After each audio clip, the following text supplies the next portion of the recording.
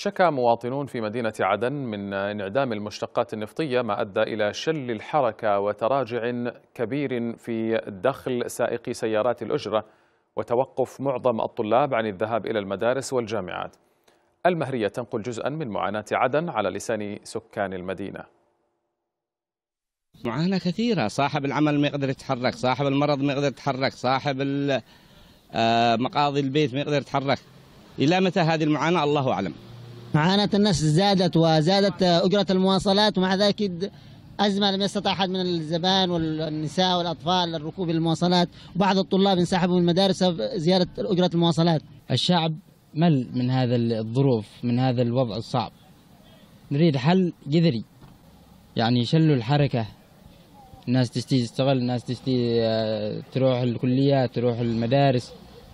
كل شيء طبار لا ماء لا بترول لا كهرب كل شيء يعني أزمة. البلاد للهاوي. غلا موت البشر موت العباد. والله كل الناس الآن اللي كان عزيز الآن يشحت. هذه الأزمة بترول بترولنا. ذهب ذهبنا معدن معدننا كل حاجة حقنا.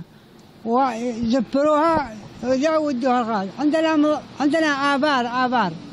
آبار تشتغل بترول. يودوه الخارج وإحنا في أهله معدوم مننا. هذه جريمة هذه.